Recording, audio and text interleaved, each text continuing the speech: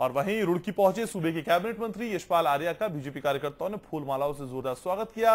यशपाल, पाल आर्या ने स्वच्छता अभियान में शिरकत करने के लिए सभी कार्यकर्ताओं का और आम जनता का धन्यवाद भी किया। वो शिरकत करने के लिए हालाँकि रुड़की पहुँचे हुए थे आज, रुड़की पहुँचे हुए थे आज।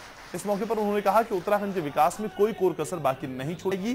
प्रधानमंत्री नरेंद्र मोदी ने जो विकास की पहल की है, उसको साकार किया जाएगा। तो रुड़की पहुँचे कैबिनेट मंत्री यशपाल आर्या का स्वागत हुआ।